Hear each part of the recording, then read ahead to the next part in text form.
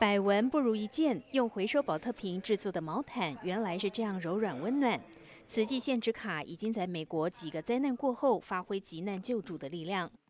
来自华盛顿联邦紧急事务管理署几位代表与慈济芝加哥分会交流。美国国土安全局信仰和机会倡议中心主任分享到，每个信仰都有相似的回馈社会功能，但他看到慈济做出新的高度。was all of the work that you do in the recycling and uh, trying to make the earth a better place um, for the, and, and, having everyone engaged in that process. It just was extremely empowering to me.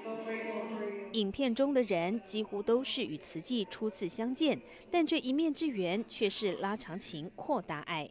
and it's just amazing how the volunteers and the Tzu Chi volunteers have come together to help support their local communities. We can't do it as the federal government by ourselves.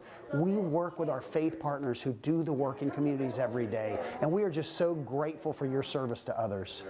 良好合作关系不但延续，软硬体在未来如何整合去紧急援助，双方共识更上一层。大爱新闻真善美志工马月美国报道。